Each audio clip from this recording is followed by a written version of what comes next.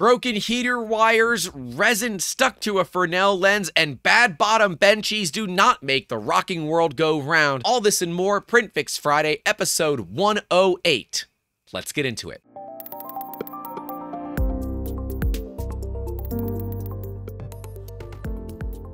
Hey guys, welcome back to the channel, and if you're having issues with your 3D printers, you come to the right place. We do this series every single week to help you getting printing with purpose. And if you are having issues, you can reach out to us on all the social medias, slide into those DMs, or if you feel inclined, you can email us directly, youtube at 3dmusketeers.com, and we'll help you out and it costs you literally nothing. We do this completely for free because we want you to get back printing rather than being immediately frustrated. But before we get too deep into Print Fix Friday, I got a cool announcement for you guys. This comes from a buddy of mine, Dom, or if some of you know him as Geek Toy Box. He is actually one of the organizers of Maker Faire Orange County, not Orange County, Florida, Orange County, California.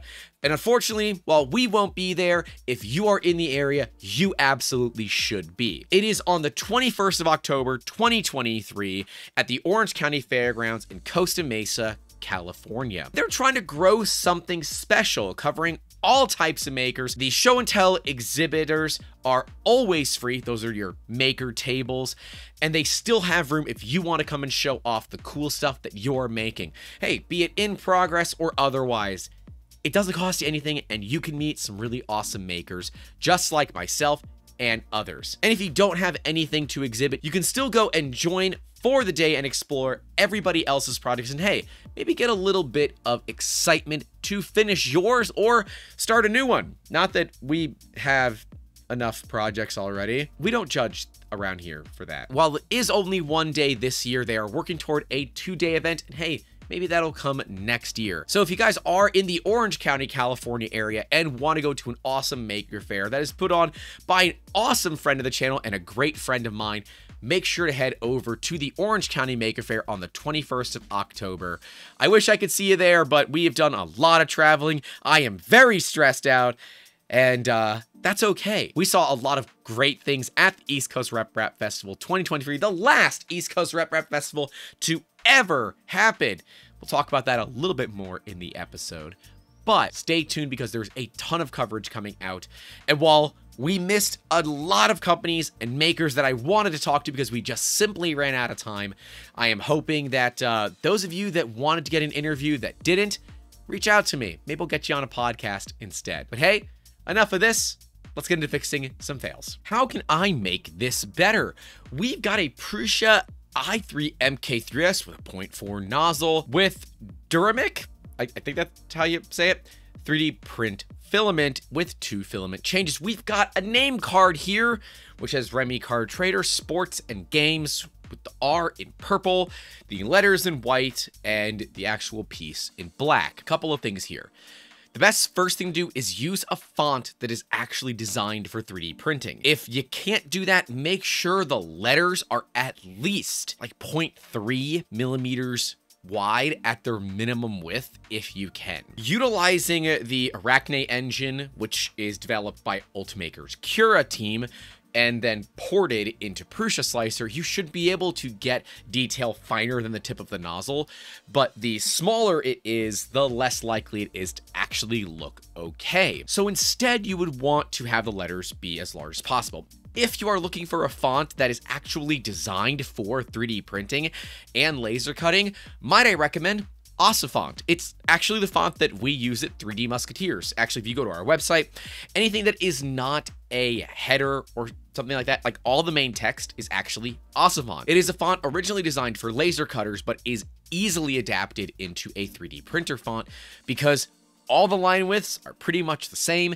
The E's and the C's have enough variation, as well as quite a few of the letters are adopted to be more laser cutter and 3D printer friendly. As for getting the detail between things like that ampersand and the G and the A, the M, the E, and the S, where you have a little bit of stringing there, when you do find detail like that, cutting your temperature down might be of value. And if you are just running the MK3S stock, I do recommend dumping those temps a little bit, especially on that high detail stuff. It is good to lower those temps. That way it'll keep it from stringing. It is also really valuable to make sure that you have Z-Hop enabled and there is actually enough Z-Hop here so that your nozzle isn't just dragging across the other piece. To even further make this part look good, I would recommend actually ironing the top surface. That'll clean everything up a little bit and make life just a little bit easier.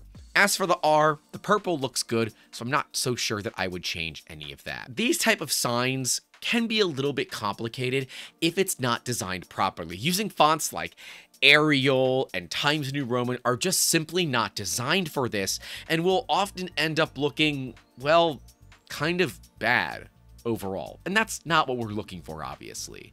So look at using a proper font that would work for this. If you can't do that because it's not within the brand guide that you're working with, you can try to use some horizontal size compensation, which is only accessible via the expert settings inside of Prusa Slicer, and it will be listed under the advanced tab where you can see XY size compensation. By adding some to this, you can actually increase the XY size of the individual pieces. However, they're going to end up looking kind of bloated if you do more than a very, very small amount. So if you are just going to do some XY size compensation here inside of Prusa Slicer, make sure that you're just doing the absolute bare minimum. You don't want to do more than you actually need. Fixing this bottom layer.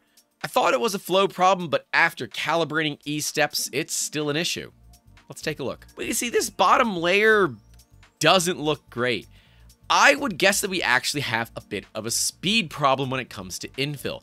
See, the actual lines around the outside of the printer look pretty good. The perimeters around the CT3D.xyz look good, but the infill itself just doesn't look all that great. We can see on one of their previous posts that they were having an issue on this well, Bitcoin, where it's definitely an issue with not being the right distance from the bed. Hopefully, because I really hope this is not a top layer and instead a bottom layer. Okay, it is a bottom layer, so there is that. And that would kind of track here as well, but this should not be a bridge where it is a bridge here. And as far as bridging goes, that's actually not bad.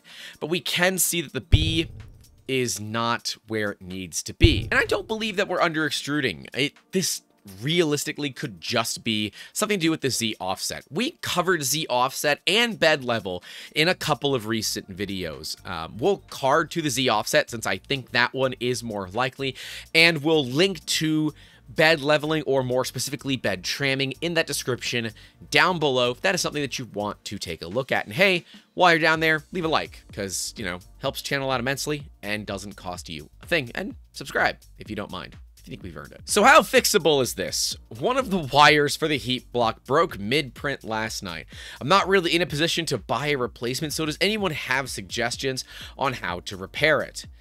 No, it is not repairable. There is not much that you can do to fix this. The reason that this occurred in the first place is because you don't have the right cable strain relief.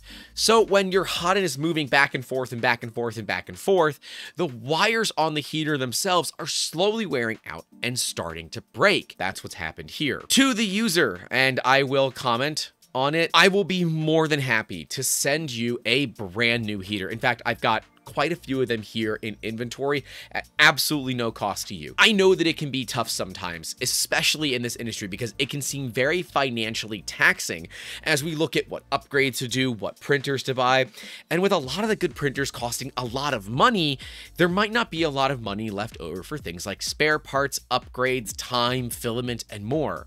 So, you know, hey, if you do reach out, I'll be happy to send you something because I get what this is like. I've been there before, and I had a nice person help me out a couple of years ago, back when uh, things weren't so hot around here. And, you know, if I can pay it forward, I'm more than happy to. But this is a stock Creality hot end.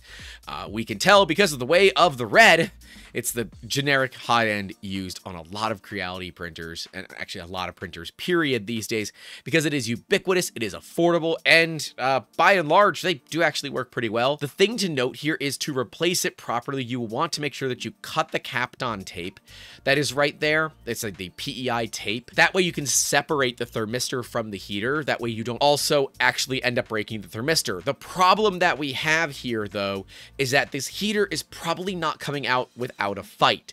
See, they're designed to be taken out and put in when it's all hot. So you might need to have a lighter or a small little butane torch as well. Those are relatively affordable and cannot legally be shipped through the mail, so I can't help you out there, but I'll be happy to send you a couple of heaters and maybe a thermistor or two because eh, likelihood is that might also be a problem. But if you were expecting it to be expensive, they're really not. You can get a pack of quite a few of them for only a couple of bucks on Amazon.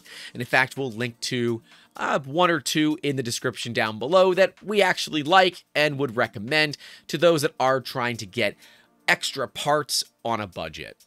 Because, yeah, 3D printing is not always that cheap at the end of the day. Removing resin from a Fresnel lens. I find myself in the unfortunate position where I have incurred a resin spill on the Fresnel lens of my Mars 3 Pro. How would I go about cleaning up without ruining my printer? Any thoughts? Well, if the resin has not yet cured, get that wiped up with alcohol ASAP.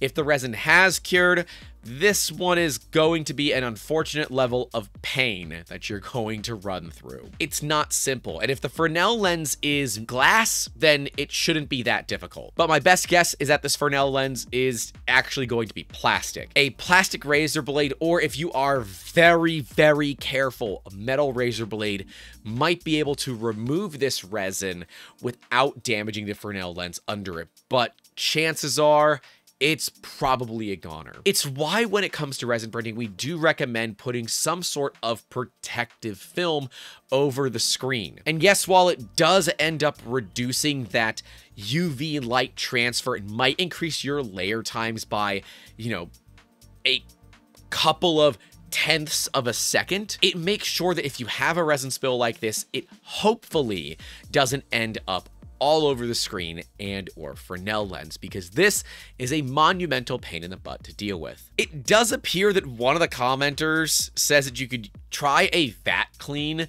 and use scotch tape to peel it off. I think I would try to take it off with alcohol and a towel first before I go that route, but yeah, um, you definitely want to do this very, very carefully.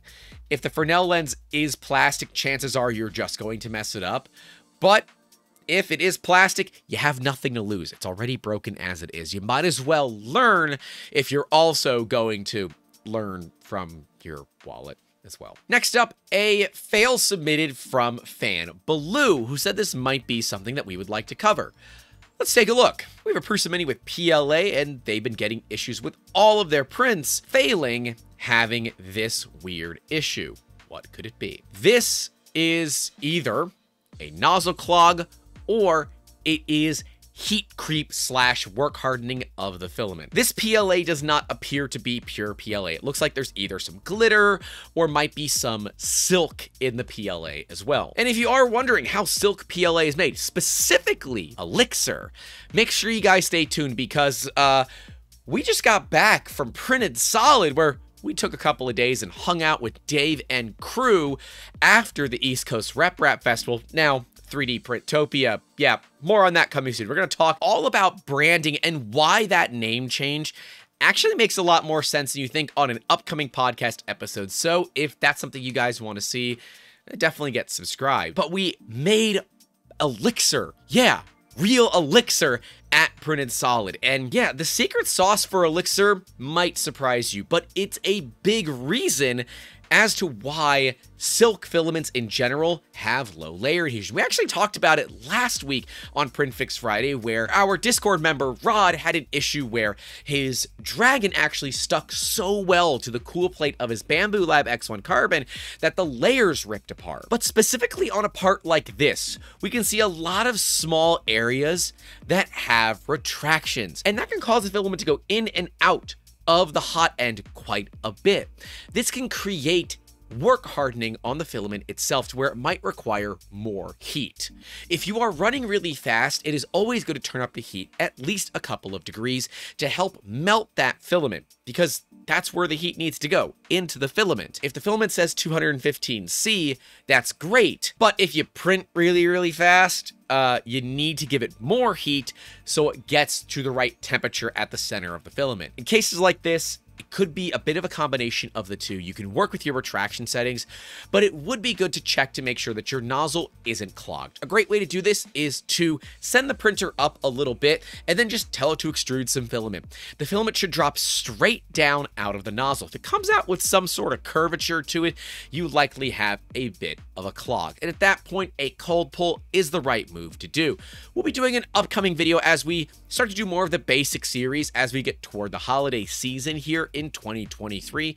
So the cold pull will be in that series. Stay tuned for that as well. Barring all of those options, we would also want to check to make sure that our retraction settings are correct and that we're not moving it too fast and we're not moving it too far. It is a lot to try, and especially with the Mini being that it is a Bowden machine, the filament is going to move a lot more in a Bowden tube than it will move in a direct drive setup. That has a lot to do with backlash in the Bowden system as well as the heat that can be generated from a standalone hot end rather than one that is also sinking into an extruder. At least that's my general understanding. Uh, I would love to know other people's thoughts there because that one's always been a bit perplexing to me. I know the tube creates some level of backlash as it pressurizes and depressurizes, but hey, let me know your thoughts in those comments below. This is an interesting fail submitted from our Discord member, Aaron, who just saw this as he was scrolling through the ye old Facebooks. Ruined my print again from the Creality K1 Facebook group. This is a lot of filament knotting, and we've talked about filament knots before that it's not actually all that possible. There are a few times where filament knotting can happen, and I almost had one happen when we were at Printed Solid, so thankfully that didn't happen. Uh, but I'm kind of excited that it didn't because it was very, very close, but I caught it and we're good. But otherwise, filament is a continuous strand. It's never broken. And if it is broken, the spool is normally thrown away because, you know, it, it's garbage. You, you can't use it. Or at least in the case of printed solid, they actually toss what is good onto a shelf where staff can get it. They use it for internal prints so that they can get sample colors and all of that, or uh, just gets given away to people that come by. But there's enough wraps here that I believe this spool was either mistreated, dropped, or somehow just overall abused by the end user. If you do get a filament wrap like this, it is best to pause the print, pull the filament out of the hot end, and unspool, I don't know, at least a little bit. This one might need quite a bit of filament and then re-manually spool it to make sure that there's no knots. At that point, you can reload it into the printer, send it off, and get printing with purpose once again. I feel bad for Discord member Madcat USA who woke up to this problem. Those of you that have a Bowden printer might have had this happen once or twice. This is a Bowden connection failure, where either the printer itself had enough back pressure, maybe a clogged nozzle that caused the Bowden tube to force itself out of the connector or the connector itself just failed. Looking at the end of the Bowden tube right here, we can definitely see some wear and tear, which could lead to that connector not gripping onto that Bowden tube as well as you might think. The nice thing is, theoretically, he can just retract all of that filament and it should be okay. Honestly, though, I would not go through that effort. It is not worth the time to me, but those of you that do want a bit of a challenge, you are welcome to play 52 pickup when it comes to filament. On the downside, this does mean that you have to replace the entire Bowden tube. It's why we do often recommend that you cut your Bowden tubes a little bit long, because in the case of something like this, you could just cut it shorter rather than having to get a brand new piece. Yes, that means that you have more backlash potential when you're dealing with Bowden printers, but to me, that extra backlash is kind of worth the effort to not go through the BS when it comes to having to replace the whole tube rather than just cutting a bit of it a little bit short. The other thing to check for is to make sure that the teeth inside of that Bowden tube connector are clean and not damaged because if they are, it is also good to replace that coupler as well. But hey, if you're going down that route, maybe it's time for a direct drive upgrade because why not? In for a penny, in for a pound. Fuck these VAT screws. Boy, that's uh that's a mood.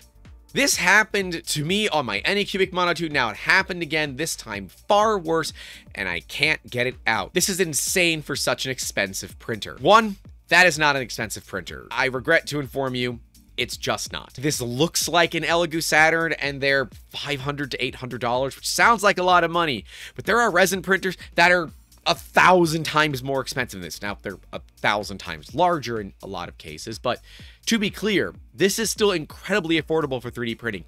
Even just a couple of years ago, resin printing was still insanely expensive, and only ever since Elegoo played the let's race to the bottom when it comes to making 3D printers and at the same time actually keeping the quality of the machines really good. We were all plenty happy paying a couple thousand dollars for a resin printer because the only other option from there was to go up to like 10 or 15,000 or go to a closed ecosystem. In this particular case, I have to agree with the top commenter that it looks like a cleanliness problem. See, we have to remember that one, resin is toxic and resin gets into everything, literally everything. And that can be a bit of a problem. If you get resin dripping into the threads of that screw, it's going to cure in there and you're gonna have a bad time.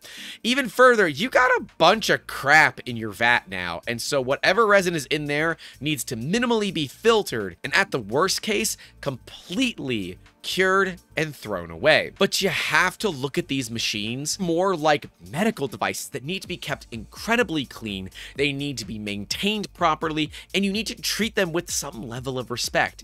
I understand that might be difficult to hear because it's not easy hearing somebody tell you, hey, just be a little bit nicer to the machine and life will be good.